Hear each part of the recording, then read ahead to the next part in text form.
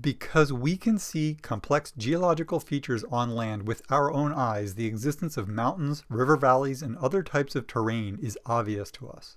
The story is different for the ocean basins because the ocean floor is invisible. In fact, as recently as the mid 1800s, most in the scientific community believed that the bottom of the deep oceans were featureless, lifeless abysses. This began to change in the 1860s and 70s when dredges pulled up life from the deep ocean and global surveys using weighted cables revealed variations in water depth across entire ocean basins. As more soundings were done, it became clear that the seafloor was as varied and dynamic as the land above sea level. The development of echo sounders and sonar in the early 20th century dramatically increased the rate at which the seafloor was mapped. And while sonar remains the most accurate way to map the ocean bottom, it is slow. Even now, over 100 years after sonar mapping began, only about 15% of the ocean bottom has been mapped by sonar. The basin-wide views that many of us are familiar with are not based on sonar. They are made from space using satellite altimetry data to image the seafloor on a truly global scale. These global maps revealed that the seafloor contains some of the largest geological features on the planet and helped revolutionize our understanding of the Earth. Seafloor data provided evidence that led to the widespread acceptance of the theory of plate tectonics. On land, the term topography describes features based on measuring the height of points above the sea surface. The mapping and description of the ocean bottom is called bathymetry because the bottom is mapped by measuring the depth of features below the sea surface. Most of the ocean bottom is younger and less deformed by geological activity than the surface of the continents, and since rates of erosion are much lower in the oceans, evidence of the processes that shape our planet remain present longer, giving scientists a powerful view into the Earth's history. Regions of the seafloor can be broken into provinces based on the local bathymetry. The shallow area at the edge of the continents are called the continental margins. From a geological perspective, there is no difference between the continental margins and the land just above sea level. The only reason the margins are part of the oceans is that there is more water on the surface than the deep ocean basins can hold. As a result, excess water has spilled over up onto the edges of the continents. Due to high rates of erosion off of land, the continental margins are covered by a thick wedge of sediment, an example of which is shown here off the east coast of the US. The margin is divided into three regions. The area closest to the land is called the continental shelf. It is a continuation of the continent which extends underwater. The rock under the shelf is granitic continental crust. Continental shelves tend to have very shallow slopes of 1% or less due to all of the sediment deposited there. The shelf extends to a point where the slope increases. This is called the shelf break. The average depth at which the shelf break occurs is around 135 meters. The area beyond the break is called the continental slope. The slope's slope is similar to that of many mountains, ranging from as low as 1% to as much as 25% with an average of around 4%. The sides of the continental slope are marked by huge V-shaped submarine canyons cut deep into the piles of sediment sitting on the continental crust. It is not completely clear how the canyons form. The best evidence suggests that underwater avalanches of muddy water and rocks called turbidity currents flow down the slopes carving the canyons as they go. The canyons are huge features. For example, the Hudson Submarine Canyon off the coast of New York is wider, deeper, and longer than the Grand Canyon. At the base of the continental slope, the ground levels off again onto an area called the continental rise. This is the transition zone between the edge of the continental margin and the deep ocean basin. In many parts of the world, this region is also covered by deep layers of sediment that have flowed down the continental slope, but the rise is beyond the plate boundary, so the crust beneath the rise is basalt-rich oceanic crust. Evidence in support of the role of turbidity flows in transporting sediment to the deep ocean is the existence of fan-like sediment deposits at the base of the canyon spreading out onto the surrounding continental rise. The width of the margins vary depending upon the type of boundary between the continental and oceanic plates. Passive margins occur along edges where the boundary is not active. The east coast of the US, shown here, is a good example of a passive margin. Passive margins are formed when rifting splits a continental landmass and ocean spreading pushes the two pieces of continental crust apart, leaving the active rift margin in the middle of the ocean basin far from the edge of the continents. They tend to be wide with well-defined shelves, slopes, and rises. Active margins occur where there is tectonic activity on the boundary between the oceanic and continental plates. Convergent active margins are the most distinct. They occur where the oceanic and continental plates are converging and the oceanic plate is subducting below the continental plate. Characteristic features include volcanic activity on the edge of the continental plate, a narrow offshore shelf transitioning to a steep slope into a deep trench that marks the boundary between the plates. These long, narrow trenches are some of the deepest spots on Earth. There is less sediment along active convergent margins because what sediment that is present falls into the trench.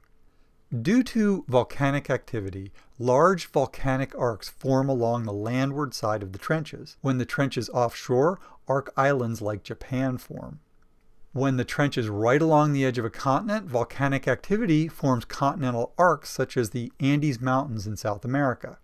There is a second type of active margin called a transform active margin, where two plates are sliding past each other. These margins have less distinct characteristics. The deep ocean begins on the seaward side of the trenches along active margins and at the base of the rise of passive margins. The deep oceans cover vast areas of the Earth's surface, with average depth ranging from 4,500 to 6,000 meters. Large regions of the deep oceans are covered by abyssal plains, which are large flat regions covered by thick layers of sediment that have accumulated over millions of years. All of this sediment makes the abyssal plains the flattest places on the surface of the Earth. The extent of the abyssal plains makes them by area the largest habitat on the planet. As with other features of the ocean bottom, the type of continental margins bordering the area determine the distribution of abyssal plains. They are extensive off of passive margins due to the readily available source of sediment to coat the bottom. They are less common in basins surrounded by active margins, like the Pacific, because the presence of deep trenches prevent the transport of large quantities of sediment off the continents into the deep ocean. Abyssal plains are not completely featureless. In some regions, there are abundant volcanic hills and mountains rising up off of the ocean floor. Ones that are less than a thousand meters high are called abyssal hills or sea knolls. Due to the extent of the ocean bottom, abyssal hills are one of the most abundant geological features on the planet. They are considered biodiversity hotspots, providing important habitat for a variety of deep sea organisms. Mountains that rise more than a thousand meters above the bottom are called seamounts. They are large undersea volcanoes. Many are extinct, but some remain active. Some have flattened tops due to erosion by wave action during times when sea level was lower. These flat-topped seamounts are called table mounts or guyots. The final major province of the seafloor is the mid-ocean ridge system. The ridges are the result of seafloor spreading along divergent plate boundaries and are where new oceanic crust forms. The mid-ocean ridge system is the Earth's longest mountain range, running over 70,000 kilometers. They are shallow relative to the surrounding deep ocean, rising as much as 2.5 kilometers above the surrounding area. The ridges are the result of volcanic activity. A series of deep clefts run down the middle of the ridges. These are the actual rifts where the two oceanic plates are moving away from each other. Cracks running perpendicular to the rifts give the mid-ocean ridges a distinctive zigzag zipper-like appearance. These are called transform faults. They form due to different regions of the plate spreading at different rates. In some places, the transform faults can extend hundreds of kilometers from the center of the ridges. The global coverage of the satellite maps have given us a better understanding of the range of elevations on the planet. This information has allowed us to chart elevation distributions on a hypsographic curve. This curve shows the relationship between the height of the land surface and the depth of the oceans. It is a cumulative curve, starting at the highest point on land, which is the 8.8 kilometer peak of Mount Everest in the Himalayas. From there, the curve shows elevation range dropping to the sea surface with about 29% of the surface above sea level. The rest of the Earth's surface is below the water. The shallowest regions are mostly the continental shelves, which cover about 22% of the sea floor or 14% of the total surface of the Earth. Deep ocean basins cover about 42% of the Earth's surface, which is more than any other province. The remaining deeper areas include the trenches. The deepest point is the 11 kilometer Mariana Trench off of the Marianas Islands in the western Pacific. The distribution of these different heights and depths can also be shown as a histogram with the amount of surface area at each elevation plotted on the x-axis. The histogram reveals that there are two peaks in the elevation distribution, one just above sea level and another at around 4,000 meters below sea level. Treating land and sea separately, the overall mean height of the Earth's surface above water is at about 800 meters and the mean depth of the sea floor is at about 3.7 kilometers below the surface.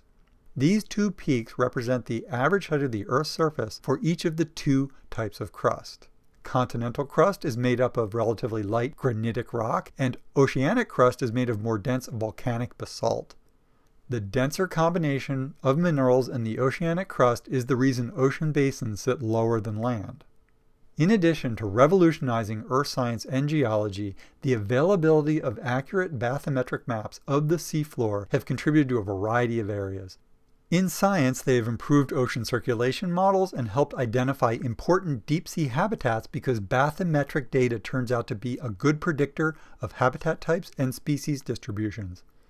The information contributes to hazard mitigation by identifying locations of undersea volcanoes and regions with high probabilities of slope failure. These maps are also used to identify opportunities for economic exploitation and to establish economic and national boundaries. If you found this video helpful, please consider sharing it and giving it a thumbs up. Feel free to comment with any questions or suggestions, and if you want to keep up with the content here at Science Primer, click the subscribe button. Thank you for watching.